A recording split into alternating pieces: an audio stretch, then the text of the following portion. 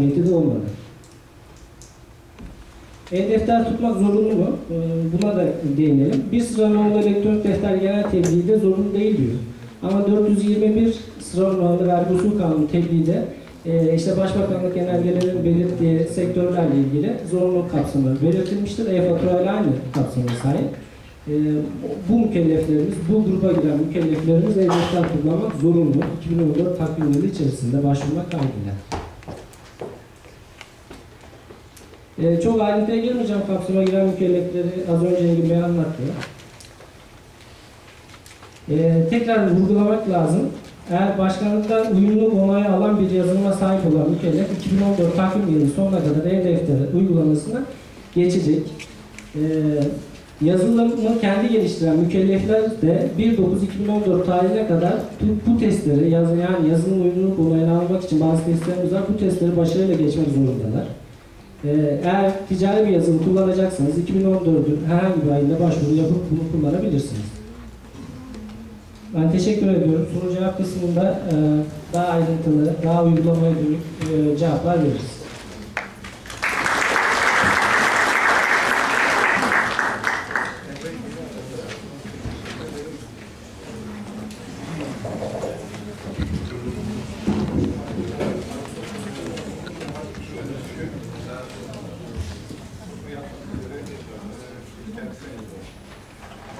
Merhabalar. Ee, Herkese hoş geldin diyorum öncelikle. Ee, Sayın misafirlerimiz, e, Ankara'dan gelen konuklarımız e, her iki konuyla e, oldukça geniş olarak anlattılar. Bu anlamda e, kaçınmak için kendi sunumumu kullanmayacağım. Sadece bir takım notlarım var. Onları aktarmaya çalışacağım. Bir de e, oda olarak tüm üyelerimizin e, sorularını, ilgi çeken noktaları bize bildirmelerini istemiştik. O konuda gelen mailler var. Onlara e, cevap vermeye çalışacağız. E, bu arada e, cevaplama noktasında sayın uzmanlarımızın da düzeltme veya e, katkıları olursa çok memnun oluruz. E, öncelikle e, bu sistemin getirdiği, e, alışık olmadığımız e, bu sistemi, e, sisteme getirdiği bazı ilkler var. Bunları e, birkaç madde halinde sıralamak istersek, ee, ilk defa olarak e, uzmanımız da belirttiler. E, özel entegratörler e, mali mühürleriyle bizim faturalarımızı mühürleyebilecekler. Kendi mühürümüz yerine onların mühürünün kullanılmasını talep edebileceğiz. E, bu ilktir. E, 231'e biliyorsunuz çok uygun değildir ama e, bunun yolu açılmış oldu, düzenlemesi yapılmış oldu. Sayın Başkanım da belirttiler. E, uzaktan denetimin e, yolu açılmış oldu. Ee, Bir başka yeni ise uluslararası e-belgenin önü açılmış oldu. Ee, Avrupa'da ve çeşitli dünya ülkelerinde e, e-faturanın e, geniş ölçüde kullanıldığını biliyoruz. Ülkemizde de bu kullanılmakla e, şu an için e, belki mevzuata çok uygun gözükmemekle beraber önümüzdeki dönemde bununla ilgili düzenlemeler de bekleniyor. Uluslararası olarak da e-belgeler düzenlenebileceği anlaşılıyor. Ee, Bir başka yenilik ee, Daha önceki dönemlerde vergi incelemelerinde e, birçok inceleme elemanının kendi takdiriyle, kendi talebiyle bir takım e, bilgiler, belgeler e, isteniyordu, listeler isteniyordu. Artık vergi incelemelerinde e, bir takım standartlaşmaya gidileceği, istenen bilgilerin standart ölçülerde sistemden alınabileceğini ifade ediliyor. Ancak e, bu konuda biraz benim endişem var. E, herhalde yaşayarak göreceğiz bunu. Bu e-fatura daha sonra e-bilet de düzenlendi.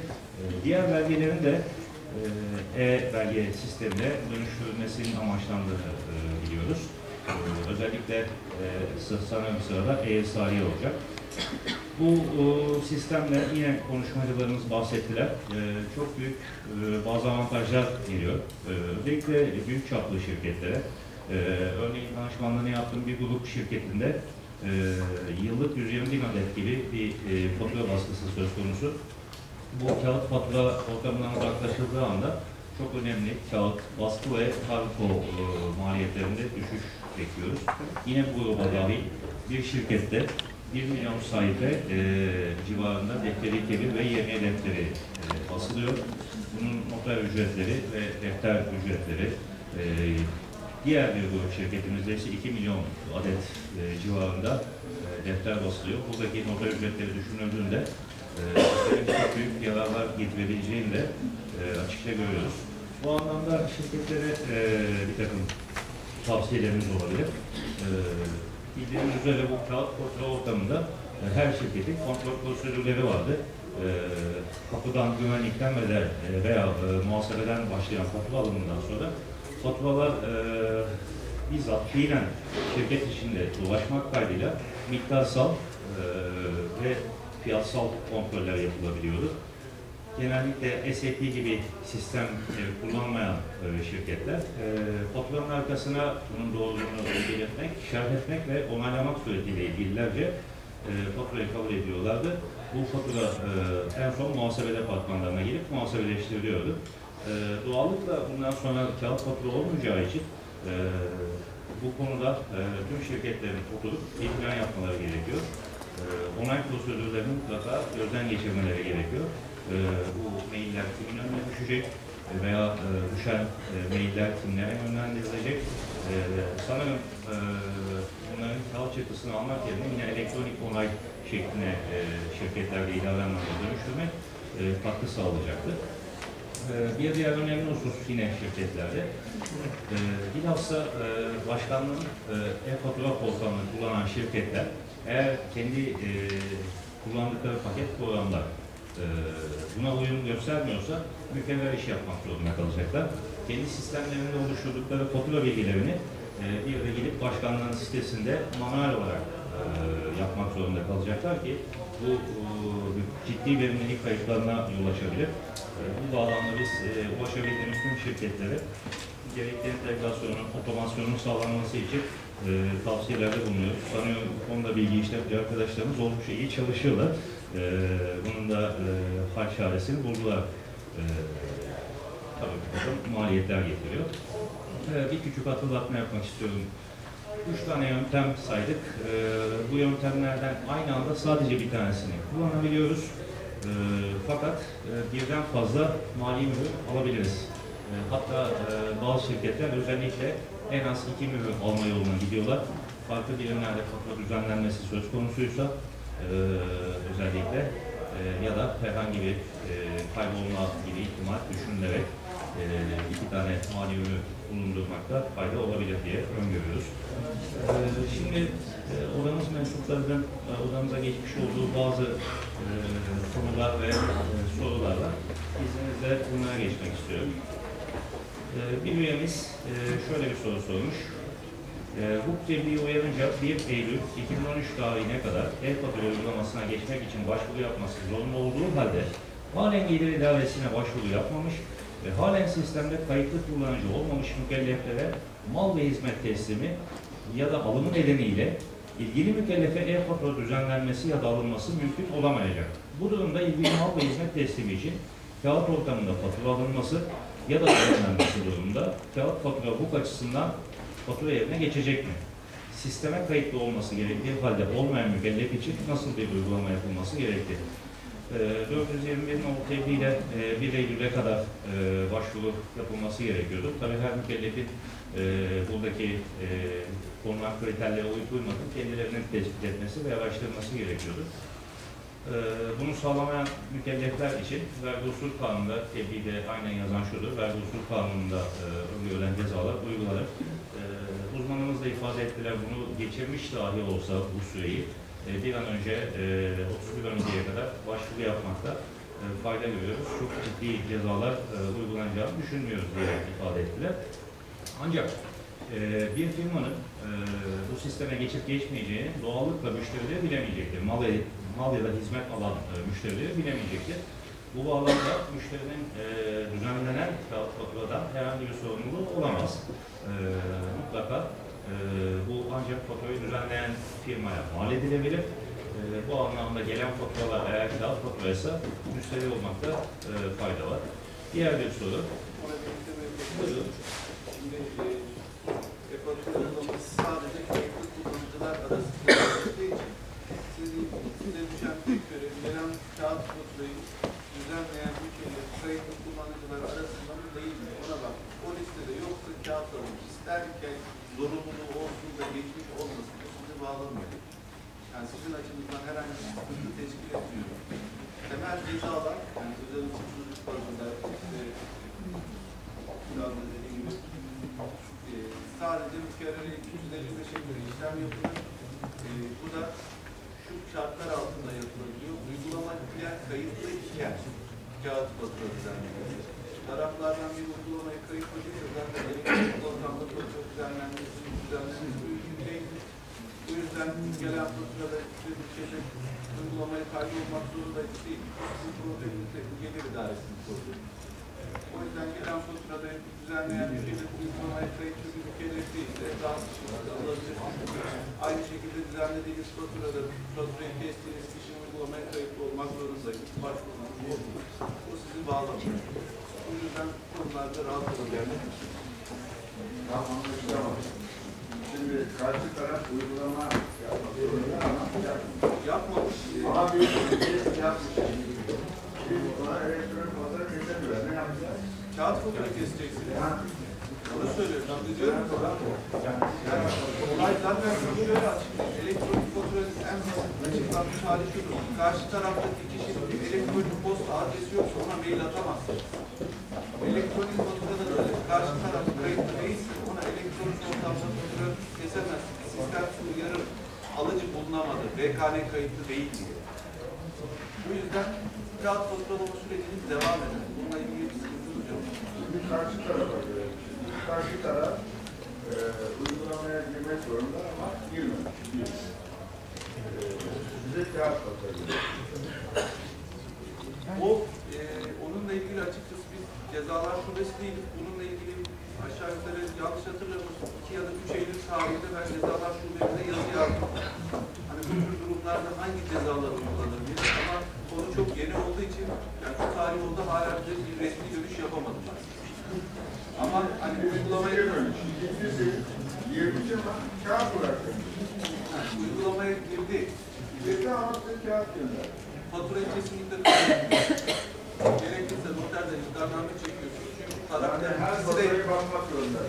Evet, bakmak zorundasın. Çünkü uygulamaya kayıtlı kullanıcılar kendi aralarında sadece elektronik ortamda faturalık gönderiyor. Kağıt faturalar yok. Düzenleyen açısından hiç düzenlenmiyor sayılır. Ve bir kere 55'e göre ceza gerektirir. Ha, kağıt düzenledim KDV beyannamesiyle veya bütün KDV'den kurtardı doğru cezası ödeyecek. Alıcı ise daha kötü hiçbir şekilde gider olarak kullanamıyor. Çünkü yasal bir belge değil kağıt. O yüzden ona dikkat etmeniz gerekiyor. Uygulamaya geçenlerin en çok karşılaştığı sorun da telekomünikasyon firmaları. Çünkü onlar size EPKS kapsamında gönderdikleri için çoğu zaman burada hata yapıyorlar. Önce EPKS kapsamında fatura gönderiyorlar. Yani kağıt fatura gönderiyorlar. Siz onu gider olarak kaydedebilir misiniz? Hayır. Firmayı uyarıyorsunuz. Firma size onu elektronik ortamda yeniden gönderiyor.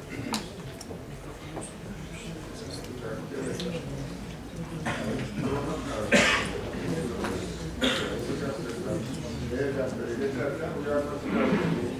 Öbür tarafın kayıtlı Bu diye da bir e, arama- Merkez Nokta Nokta asıl görev yazılım şirketlerine düşüyor. Burada bir şey söyleyebilir miyim?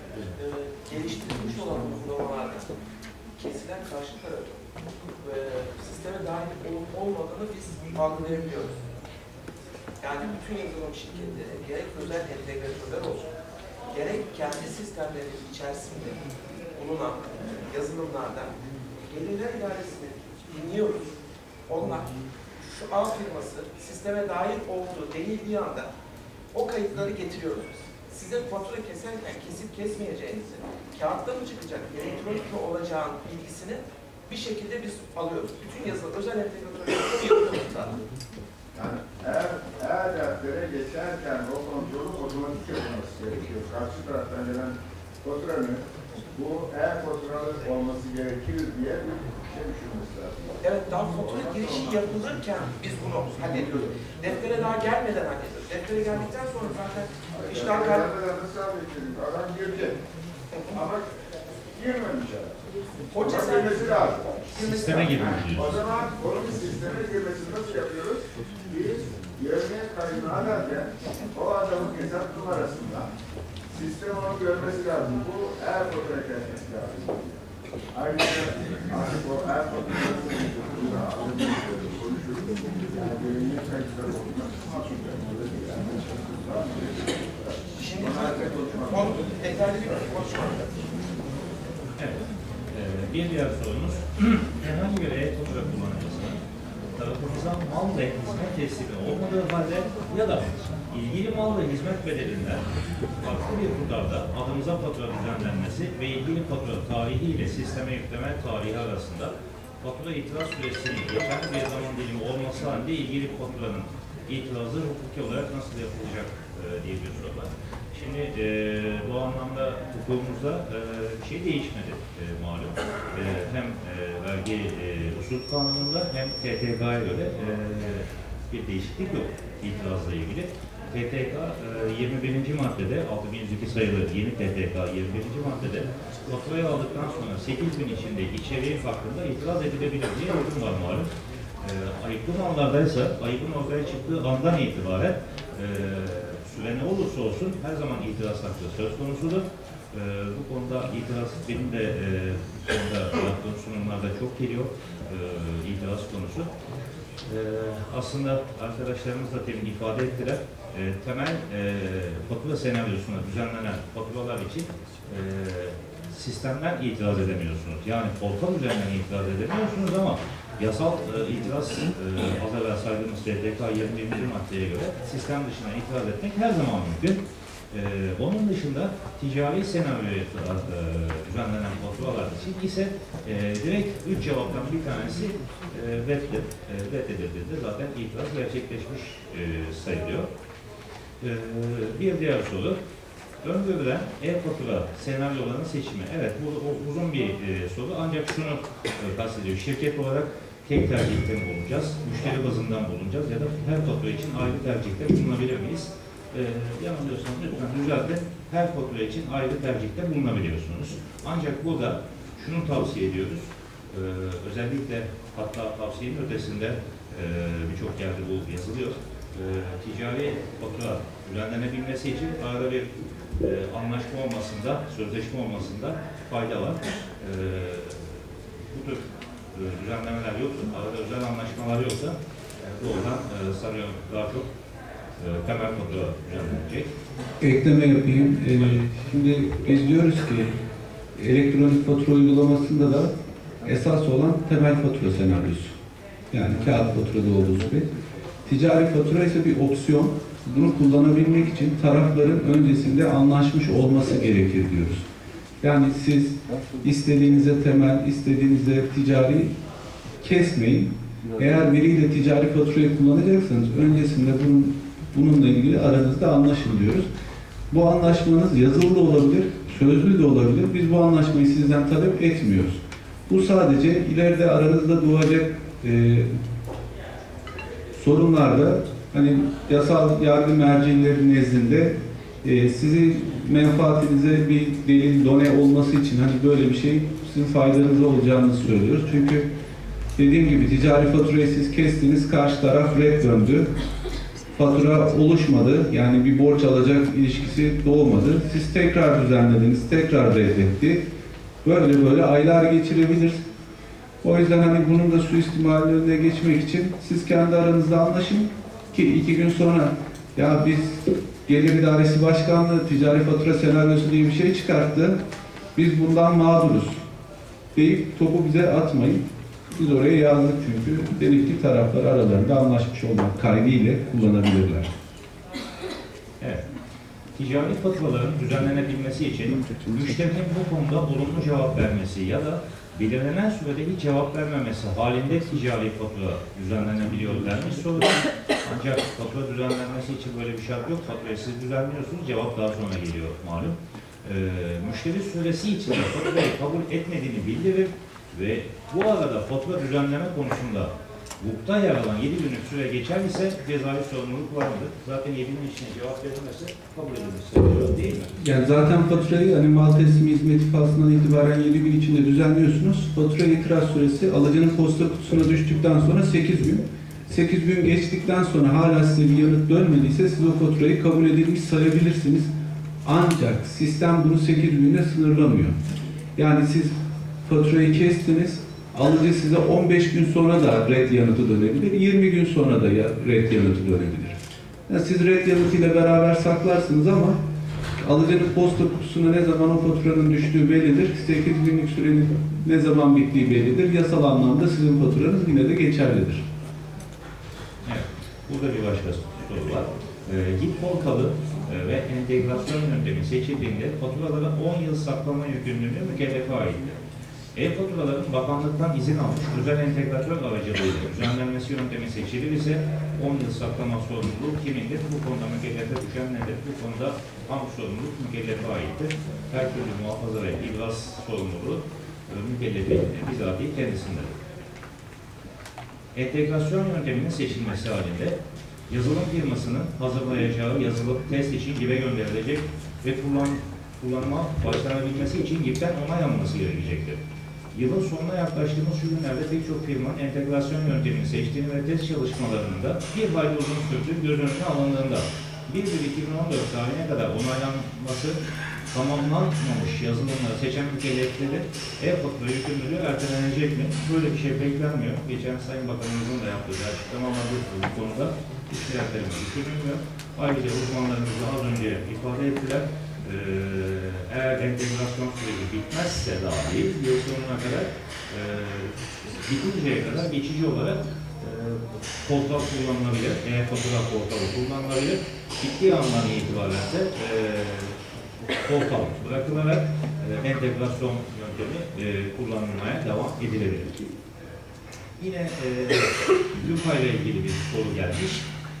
E, muhafaza yükümlülüğünün Türkiye Cumhuriyeti sınırları içerisinde ve Türkiye Cumhuriyeti kanunlarının geçerli olduğu yerlerde yerine getirilmesi e, zorunludur. Lupa programının verileri, e, mükellefin bilgi işlem sistemleri yerine merkezdeki yedeklerin ötesinde yedeklenmesi nedeniyle Lupa programı kullanılarak e-defter tutmak mümkün olamayacaktır. E, onu da Ona ben açıklama yapayım isterseniz. Ee, ona da onay verdik. Ee, Luka Turmov'un yazılımı zaten. Ee, şu anda testlerde. E, Testleri tamamladıkları zaman e, Luka'da e, yazılım al- alan yazılımlar arasında yer alacak. Yani Luka kullanıcıları da e-fat- e- e-defter sürümüne geçtiği zaman e, Luka üzerinden elektronik defter oluşturabilecek. E, bununla ilgili yine e, Emre Bey'in dediği gibi yasal düzenleme de yapılıyor. Muhtemelen e, bu ay içerisinde de çıkabilir. Ocağı da çarpabilir. Yani şeyini bilmiyoruz. E, sanırım başbakanlar gitti. Bir tebliğ çalışmamız var defterle ilgili. Orada e, defterlerinde e, bu gibi yazılımlar ile bu üzerinde e, işlemesine izin, hatta saklanmasına izin veriyoruz. Evet. Ee, bir meslektaşımızdan iki tane e, soru var arka arkaya. Bir, dövizli fatura düzenlenememektedir. Burada- Doğru. Portal üzerinden e, dövizli fatura düzenlenemiyor. Yani manuel olarak düzenleyemiyorsunuz. Bunun çözümü eğer portal kullanıcıysanız dediğim gibi portal yükleme modülü dediğimiz muhasebe yazılım firmalarının ürettikleri bir ara yazılım var. Muhasebe çıktısını gibi bir yere çeviriyor. E, elektronik mali imza ya da mali mühürle imzalatıp zipleyip bilgisayarınıza kaydediyor. Bu şekilde oluşturursanız eğer portalın imkanlarından tam anlamıyla yararlanabilirsiniz. Ama portalda manuel olarak döviz bazlı fatura düzenleyemiyorsunuz.